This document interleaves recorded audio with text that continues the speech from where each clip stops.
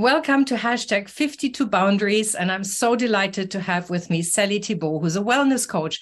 And we are going to talk about eating, specifically the boundaries around eating, because that is such a big topic.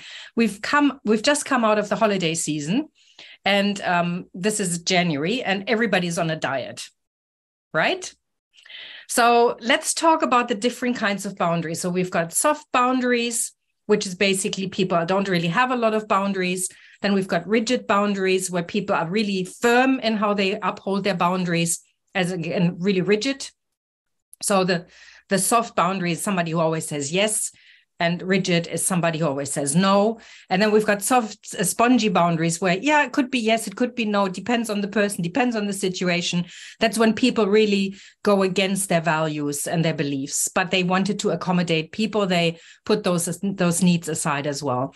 And then there are flexible boundaries where we are self referencing, where we're checking in with ourselves, we're adjusting to circumstances and to people, but not from a place of, oh, I'll accommodate you, but it's about really working what works best for us. And we negotiate when we're coming from flexible boundaries. Mm. So that is just an introduction because I think since we're at the beginning of the series, it would probably be useful to give that another wrap up. Um, what does somebody look like who eats with soft boundaries? Oh, well, Angela, you know, it's interesting, isn't it? Because I think all those things you were describing, I think many, in particular, women can relate to mm. all of that at various stages of their lives. Um, and those boundaries, the flexible boundaries to me are so critically important in the journey to learning to eat well. Because if you're either too rigid at one end or have no boundaries and soft boundaries at the other, or even spongy boundaries, it will actually impact on your health and well-being yeah. So for flexible boundaries, firm boundaries are just as bad around food. You know, we end up with with conditions such as orthorexia, yes. which is where people won't eat anything that's not clean or and and those things, you know, that that movement towards sticking to a really firm boundaries, you know, is the thing that ends up with people being really in trouble with their mm. metabolic health in particular.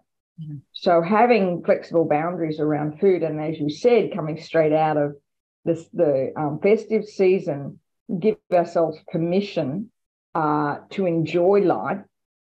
I think is really important. Yeah.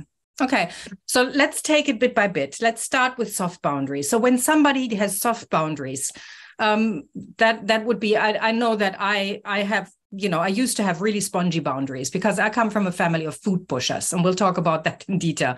But soft boundaries for me meant that I would overeat. I would just eat too much. I really enjoy food. I'm a foodie. And especially when there was company, I would just get into conversation. I would just eat way, way too much. But you know, it's it's and it's a problem to self-regulate then afterwards, right? Mm.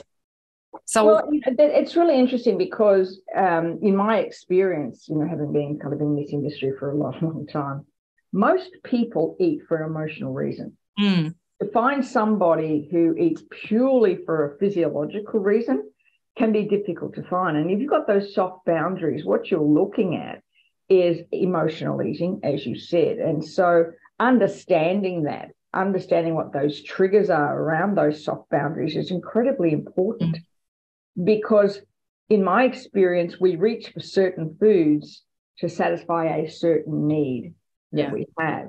So you might be a situation, for instance, and let's just talk about Christmas, sitting around the Christmas table, everybody's trying to be nice to each other because you know we get once a year and everybody's keeping their mouths shut and doing what they're told. And and and and you know, some families get along very well and it's fine. There's a lot of families that don't, that come together at Christmas and and kind of try and make happy families, especially what's gone on in the last couple of years.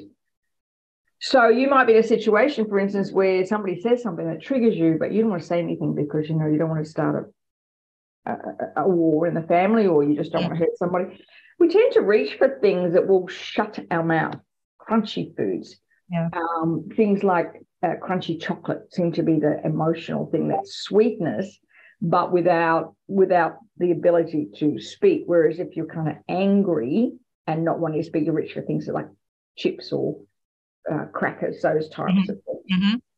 And the understanding that that's what you're doing because what you're not able to do in referring to these soft boundaries is not being able to just stand in your own power to not have these things trigger you and i think that that's those boundaries those those flexible boundaries are incredibly important because um, you know there's going to be times where you're able to speak your truth and there's going to be times when you're not. Yeah. and knowing the difference yes. where the real benefit comes from. Yeah and then there's this whole thing about yes it's okay to eat some chips but you don't have to eat the whole pack. Exactly. right? Or the ice cream you know like i know people who say once i start eating ice cream i can't stop. I have to eat the full container yeah that's really interesting isn't it because if you're not in an emotional state mm. at that point with those and and have those soft boundaries you're not able to listen to your body physiologically yeah. because a whole ice cream you know we've all done it a whole ice cream container ice cream container to eat that much physically will make you ill. Your yeah. body doesn't like that, too much sugar. Um, but when you're divorced from those emotions and you put the barrier up not to feel it, I remember years ago working with a psychologist, and she was saying, My biggest challenge is to get people to feel emotion. Mm-hmm. Yeah. The work you're doing is incredibly important by identifying what the emotion actually is, because we can we can put it into you know, big, broad baskets, I'm angry. Mm-hmm. Many times you're not. You think you are, but you're not. Mm-hmm. You're sad, feeling yeah. guilty, or, and, or missing out on something, you know. Yeah, absolutely. And and the thing that I find is sometimes we can reach when we're really stressed out, we can the comfort foods we reach for are the foods that remind us of happy times in the past.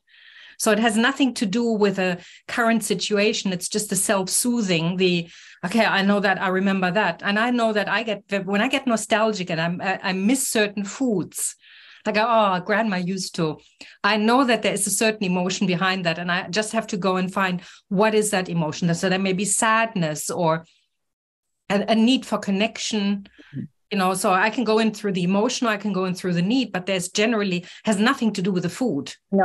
It's just a trigger. Never does.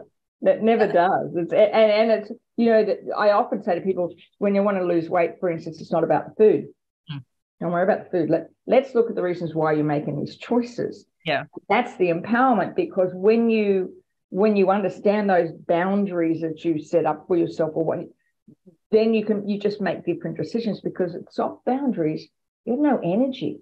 Mm-mm there's no energy left. You're constantly giving to other people, you're allowing them to step over their boundaries, your boundary to them. Energy wise, it's draining. Yeah.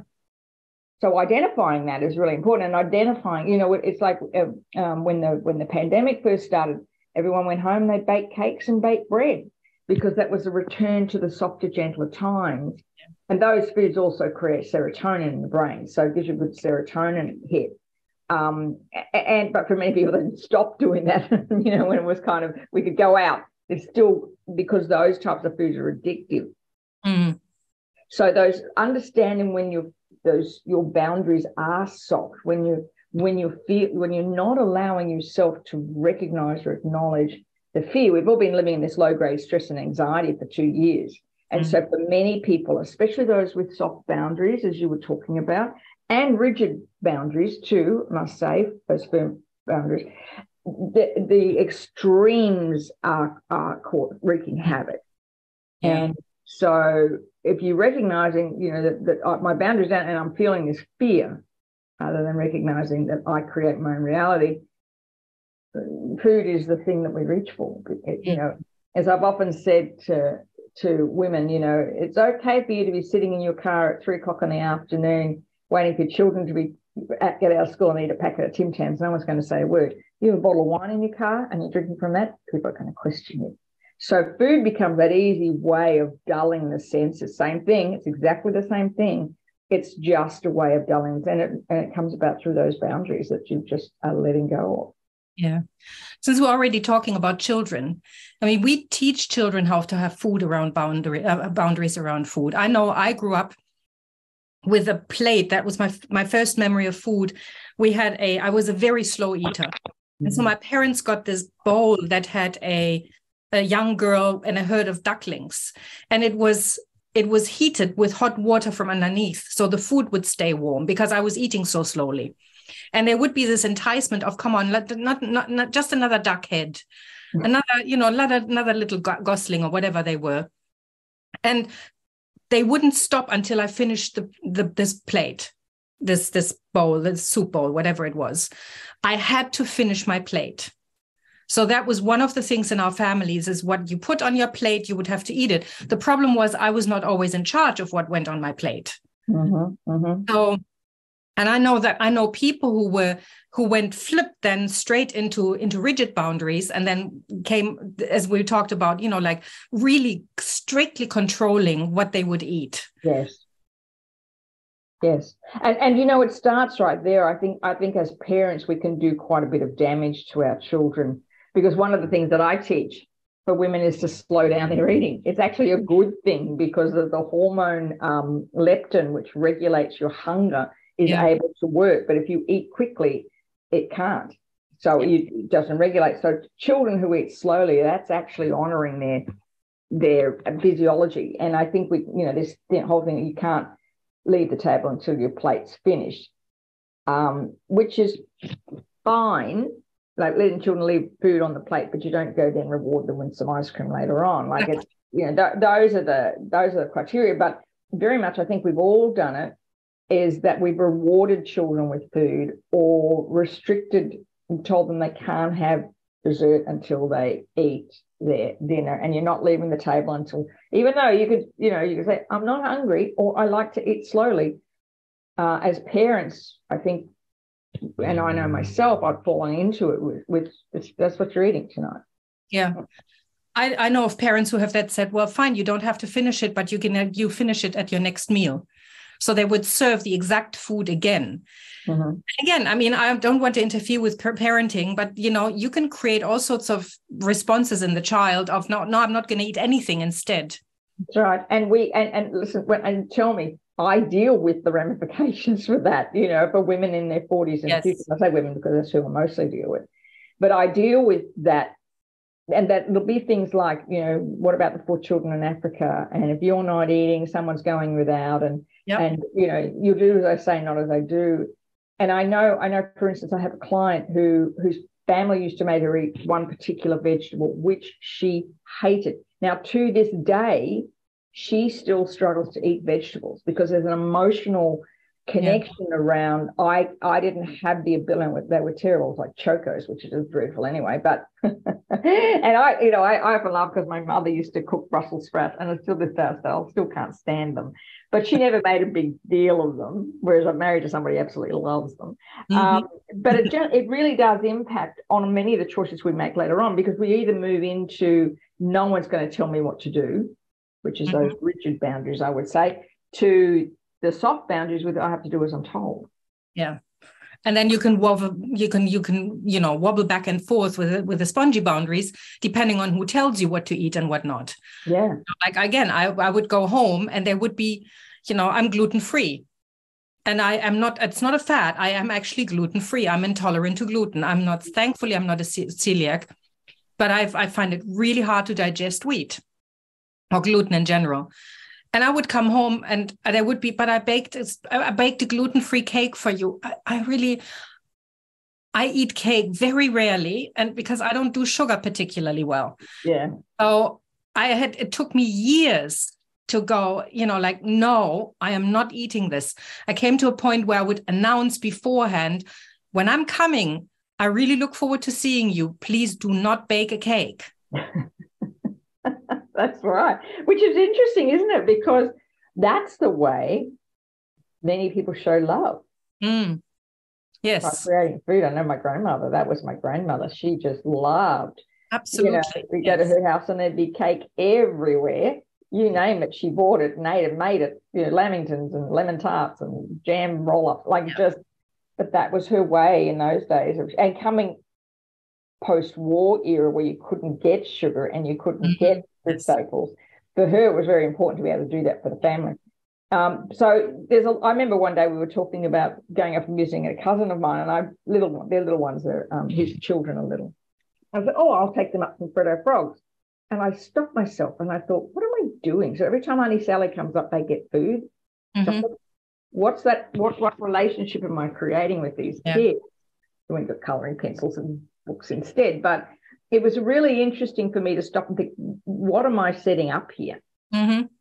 What, what, you know, that, that my gift to you is food and that's going to, you know, it, but it's so permeated in our society. I find with, with me, it, with my clients in particular, people don't recognize the emotional impact of food. And because then they swing, many swing totally to those rigid boundaries you were talking yep. about yes. because they want to be in control. Yeah. Um, I've done that. I've come to a place where, you know, like, okay, I came with my with my family, I came to a place I said, you want to eat cake, please feel free to eat cake. I'm not going to stop you from eating what you want, but don't sit in front of me and go, oh, just a little bite, you know. And and so I came to a place where I, if I knew that I was going to events where there was food that I didn't want to eat, I would bring my own food. Yeah, yeah. Yeah. But that's, that could, that's honoring you. It could flip into rigid. I've also I also know people who have literally said, you know, it's like we're going to a restaurant, we're going to, I think we were going to a Thai restaurant. Yeah. And in the end, because there was one friend who could only eat steamed vegetables and salmon that had been cooked in olive oil. So we ended up going to a restaurant when neither of us and the whole group wanted to go because it was way out of our price range. And we didn't really wanted to eat that kind of food. We wanted to eat Thai food. And it was a great lesson in learning that there's some flexibility around food is important, oh. as long as it doesn't interfere with your allergies and food intolerances. That's exactly right. And and I think you know one of the things I learned because I actually had very many lots of food rules. Um, you know, in the fitness industry, that's where we live by them that change every decade. Um, yes. and yeah. And the, and the thing about it is that you know making a decision about um, food because we you know I think in flexible boundaries we're talking about intuitive eating, which I'm very much a mm. proponent of. Intuitive eating is that your body will always support you no matter what you do. Yeah. So um, it's okay if you like we this Christmas and you know I was eating normally I wouldn't eat dairy, but I did. Now I'm paying for it. it's taken me a couple of days for my body to to and it just reminds me this isn't good for you. Yeah. Have it. There's no rigid, but I'm going to enjoy that pavlova that my friend made with lots of you know fruit and passion fruit. Oh, it's delicious. I yeah. knew I knew two days later or a day later that I was going to feel it, and I do. So I'm not going to deny myself eating that because that only creates more issues around those boundaries. It just makes you an awful person to be around sometimes. Um, but that's the choice between soft and flexible. You made a conscious choice to do that, whereas and there was no guilt or shame attached to it. It was a conscious decision, right? And I absolutely enjoyed it.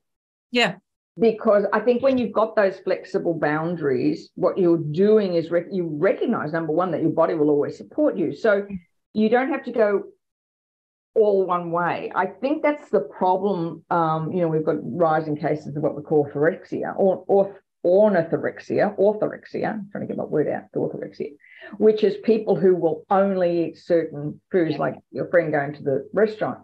That's not healthy because that creates a metabolic issue in the body. And, and so, you know, I just happen to be reading a book at the moment talking about poor metabolic health. And that's a lot of that's come from these very rigid boundaries that people have set up about what you can and can't eat. Yeah. It's an amazing, amazing vessel. Mm. Um, and very much powered by what you believe about yourself. And so being able to have those flexible boundaries to me is empowerment um, either either end of the either end of the scale is not good. Yeah, yeah.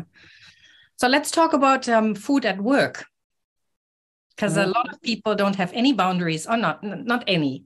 I, I, I don't want to generalize too much, but there people don't don't necessarily set boundaries around food. They mm-hmm. eat in front of the computer. while they're working, right? They snack in between because there's the box at the at the reception that says, you know, just one dollar for this good cause, and you get a Mars bar. yes, every every office you go into, exactly the same. And I used to in one office I, I in one office I worked in many years ago. There was a box right next to me. Mm. And people would come and eat out of this box all the time. And they would say, Aren't you in this all the time? And I go, No. No. Oh, I thought I had turned off the reminders, but no, I hadn't. Okay. So, um, go on. Hmm? No, it's just, I would say, I don't eat that. It's not my kind of food. And they go, Yeah, I don't know how you do this mm. because I know how I feel afterwards when I've eaten it and that's the key isn't it really like instead of you know number number one eating in front of the computer um, is, is probably the, the the it's a habit so many people have got into because we need this to feel we're connected you know that's why most organizations have lunch breaks mm-hmm. because it's, it's essential for you for your brain to yep. come out of a, an air conditioned office if you can get outside even better and actually enjoy your food rather than they're mindless, which is that's what it is when you're sitting by the computer, mindlessly eating. It's almost like we we don't allow ourselves to just be. We have to be doing. Yeah. And, and that comes back to self value and self worth because who am I to take half an hour off to eat lunch? You know, I'm mm. busy and the world will fall apart without me. Well, if you're that busy that you can't take, then you need to look. There's another area you need to look at is where your boundaries. You've got those soft boundaries around work, and yeah. you're not allowing those in positions of power to recognize um, that that's what you need, and that that comes back to those soft boundaries again. Yeah, where you're allowing yourself to be walked over, and I have to. I, I, I you know, I put my hand up. I used to do that. I when I was working a job, um, you know, normal normal job, um, I would sit eating at my desk. I look back on that now at times when I didn't feel um, worthy. I always felt that I had to work hard. I had to prove myself consistently, and that if I and uh, you know I happened to work in an organisation where um, taking breaks was actually looked down on. It's like, mm-hmm. oh, you've got a little bit of time on your hands, have you? You know, so um, so we fall into that sabotage space where we where we're sabotaging ourselves because we don't value ourselves. Mm-hmm. Regular breaks are better for you. What so many companies are introducing nap rooms now.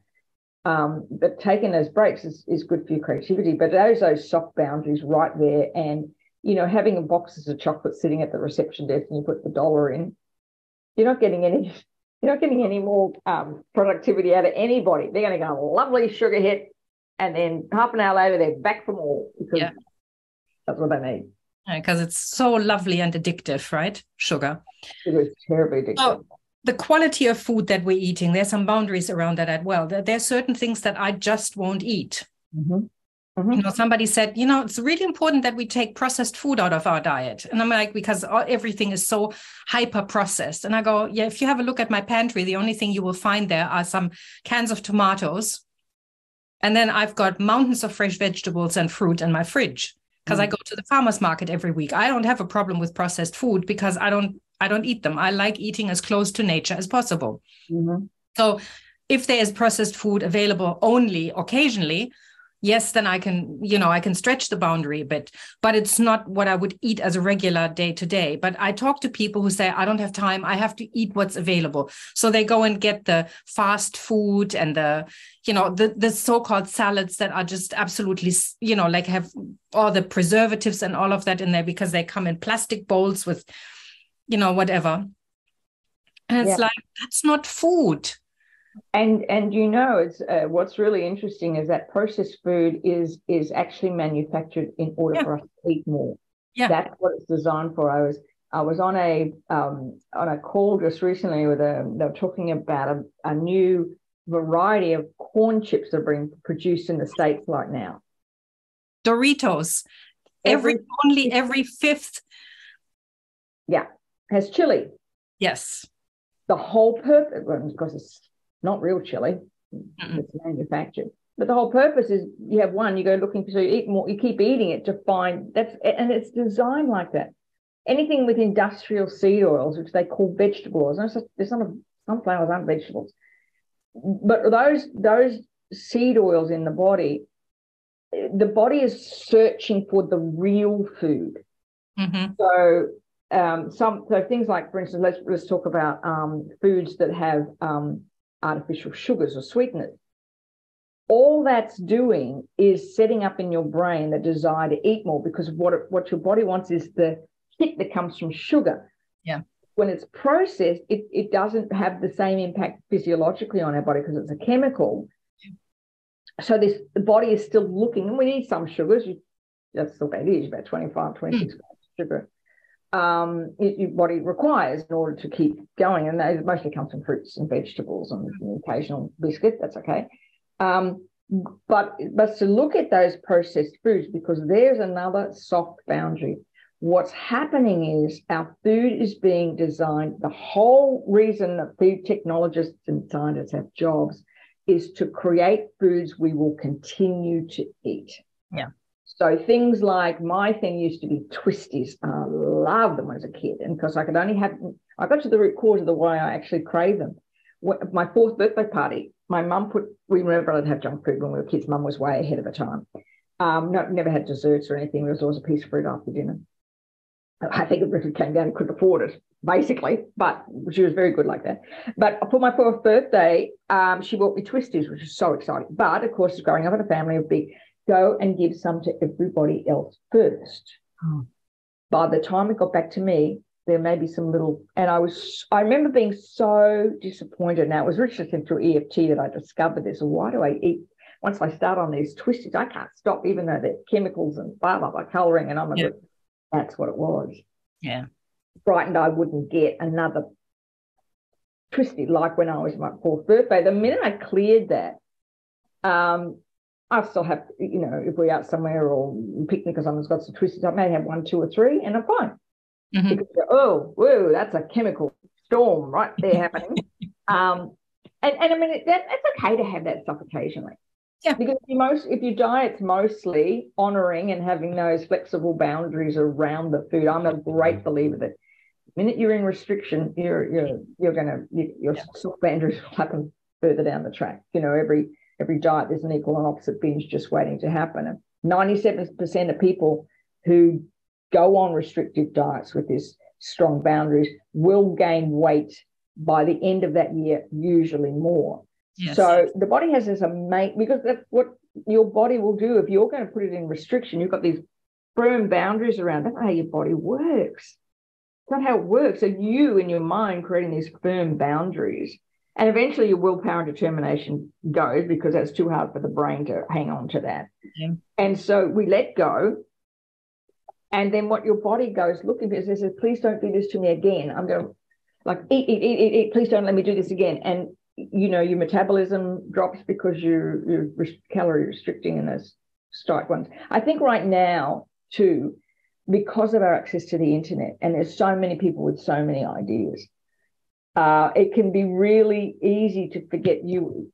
It, it's you are in control. What works for you isn't going to necessarily work for everybody else. And I think there's this tendency that to jump on board to a very rigid way of doing it as if it's the only way. Yeah.